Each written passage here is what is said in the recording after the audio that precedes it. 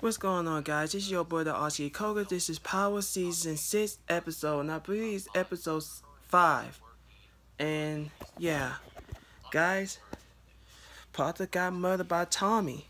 I knew he was going to get killed this season. I wasn't surprised, so they killed him off. Shot him with a shot, with a machine gun. And now you got the other dude also saying that if they don't, if they don't have his money, he they're gonna kill Tariq. But Tariq been getting some fuck shit in the first place. Anyway, this guy couldn't like Tariq is something else. He think he's grown, think he's tough, but he's not. And that dude got expelled for choke. I'm not surprised. Cause we know that girl riled him out, so she used him. And I don't feel bad for him.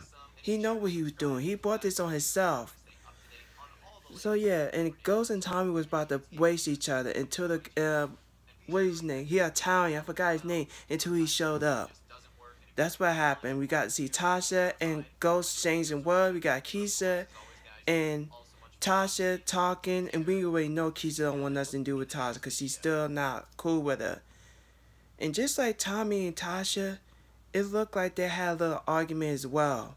Because pretty much, Tommy just was really upset, and yeah, I like Tommy sometimes, but at the end of the day, the man is kind of arrogant.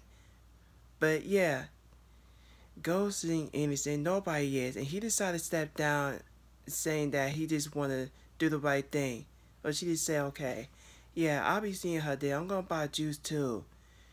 And damn, maybe I should take a bottle of water with me, but then again, I'll be fine.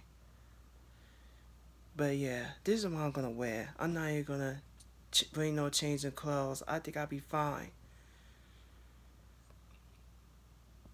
But guys, at least that's all is that cause we got to see his daughter crying. I feel so bad for her that she gonna grow up without a mother and a father. They both murdered, and now she gotta stay with her uncle.